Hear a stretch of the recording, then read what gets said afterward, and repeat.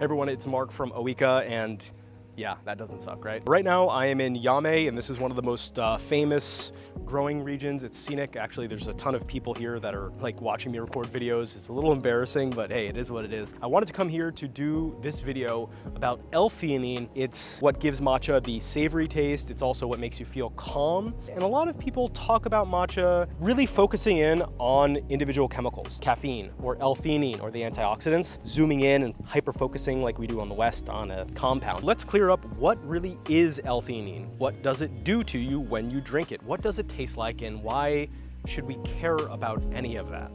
多いか引き立ての抹茶をアメリカで Okay, so first off, what is L-theanine? L-theanine is an amino acid. It's in tea. It's in fact the most present amino acid. It represents 6% of the dry weight of the tea bush, at least in the root structure. Pointing over here because there's a tea plant. L-theanine is notable because there are three elements of it that we care about as far as people who drink matcha. Number one, it contributes to the savory and sweet taste that we call umami in the tea plant. And by the way, this isn't just matcha, and it isn't just Japanese tea plants. L-theanine is in all tea plants. Two, it gets in your brain and causes non-placebo effects, such as a calming effect. And three, it's a bioactive compound. In other words, it's good for you.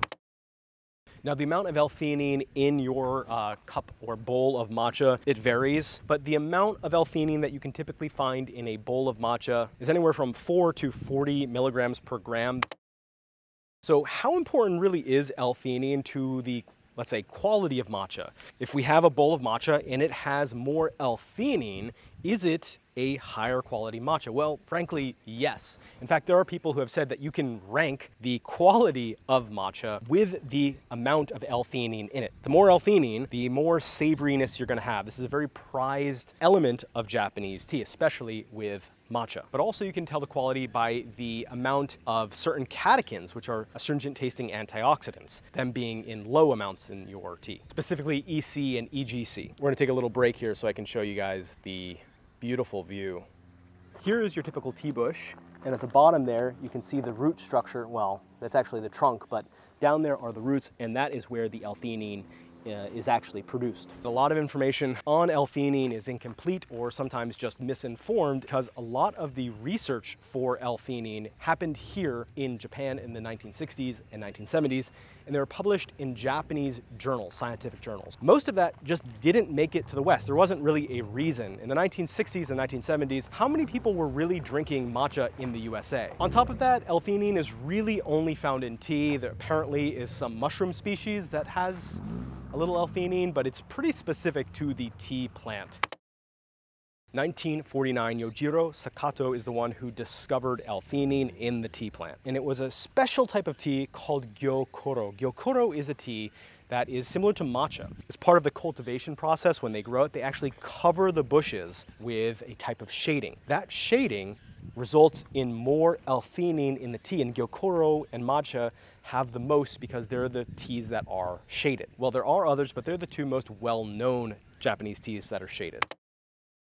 Now, where things get really interesting is over generations, over time, the connoisseurs of the past recognized that tea grown in certain regions tasted better than tea grown in other regions. This concept we know as terroir. It's the same reason that some regions in France produce better wine than other regions in France and across the world. But here's where things get really interesting. Not only did we recognize that certain growing areas had better tasting tea, we realized that there were shared traits between the best growing regions. Now these shared commonalities between the best growing regions in China, well, there's a bunch of them, but I'm gonna focus on the three that are relevant for this video. Number one, the best growing regions in China for tea, back then and today, they're steep inclined growing regions as opposed to flat land. Best areas for tea cultivation happen to be areas that were very foggy. And finally, we realized that the best place to grow your tea, if you have a mountain, is going to be the south, the east, or the southeast face. Those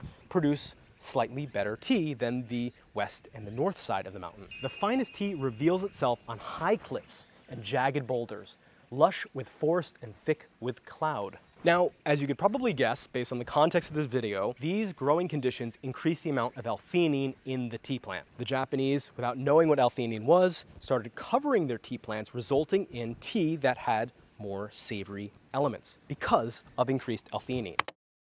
So tea does in fact taste better to us when it has higher levels of L-theanine. But the question is, why? Why do tea plants actually produce L-theanine and how is it done? Now this is a little bit complex, so I'm going to nutshell the process. The root structure of tea plants naturally produces L-theanine. It does this in response to ammonia, which is one of the primary sources of nitrogen in fertilizer for the tea plant. There is a point where too much fertilizer will actually hurt the plant. L-theanine then travels up the roots, up into the leaves via the xylem sap. Once in the leaf and exposed to sunlight, the plant begins to break down the L-theanine, both into glutamic acid and ethylamine. The important point here is that the more sunlight that hits the leaf, the more of the theanine is broken down. Uh, the technical term for that is hydrolyzed. Here is my favorite part. Once the tea plant begins to break down the L-theanine, the savory tasting L-theanine, into the ethylamine. The plant then uses the ethylamine in the leaf to biosynthesize catechins. By the way, how's that sunset? Not bad, right? I know that's a lot of science guy talk, but here's why that matters as far as connoisseurship and the taste of the tea itself. L-theanine is savory. It's what we want in tea because it's what is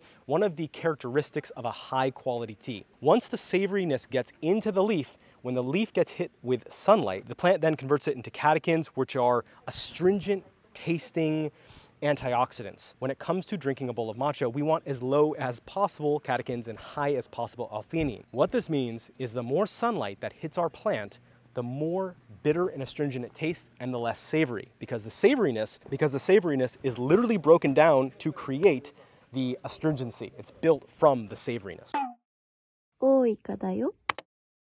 So what determines the amount of L-theanine in the tea plant? Well, it is partially environmental and partially it is genetic. We can also call that the cultivar. Just like you have a red apple versus a green apple, the sweetness is kind of within a range that's pre-programmed. The type of tea plant has a pre-programmed, let's say, genetic potential for the amount of savoriness it can achieve. Next is the cultivation technique. We can increase the amount of L-theanine in our tea plant by fertilizing it, covering it, shading it, things like that. And finally is the category of tea that we manufacture it into. All tea comes from the same plant, but we can choose to make different types of teas, categories of teas from it. We can make green tea, white tea, yellow tea, oolong tea, we can make red tea, we can make black tea. So whatever type of tea we make will affect the final amount of L-theanine in the brew. Simply put, the more oxidized the tea, the less amount of L-theanine will be in the final brew.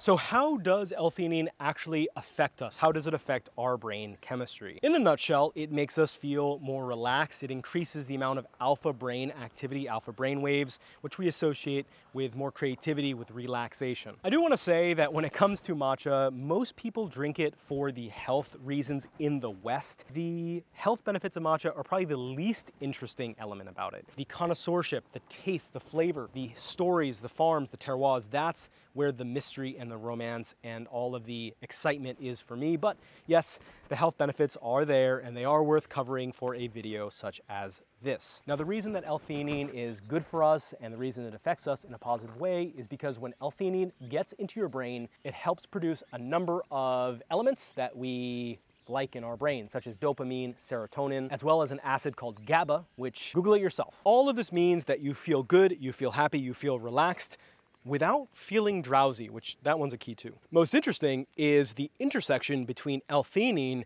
and caffeine because tea has both a stimulant and a relaxant. Together, you get that signature gentle euphoria that comes from drinking matcha without any hard crashes, without the negative jitters and effects of caffeine. They occur about 40 minutes after you drink your bowl of matcha. And that focused relaxation is the same feeling that made matcha popular with the Japanese monks that drank it a thousand years ago that caused them to bring it to Japan to begin with. Clinical research on L-theanine shows that it does a lot for us, more than just making us feel relaxed. I'll read a little bit of a list. Anti-cancer potential, anti-anxiety potential, cardiovascular, anti-inflammatory, immune boosting, antiviral, and frankly, this list is so long, it's a little bit overwhelming to uh, even look at, let alone read through, but I'll put a link below to uh, one of the many articles Uh, scientific backed up articles, meta-analysis on L-theanine and just how good it is for you. And remember, you're only getting it from matcha. Well, I've been racing to complete this video before it gets too dark. The sun has already set, but it's still in that blue hour, so I still look good on camera. But I think I'm gonna call the video here. I think at this point, we've given ourselves enough information. But remember, when it comes to drinking matcha, the elements in it, the individual compounds, are far less important than the sum of its parts. When we drink matcha, not only are we entering into a thousand years, generations of experience and stories and the air and the sky, but we become active participants in it. We become part of that story. There is real value in the scientific elements of matcha, like we said, but the meaning that's to be found in matcha is found in the art. So thanks for joining me. Again, I am Marc from Ooika. If there's any topics on matcha or Japanese tea, but specifically matcha that you'd like me to cover in the future, be sure to let me know. And let's end with something beautiful. Instead of having the camera pointed at my ugly face, look at this beautiful beautiful field.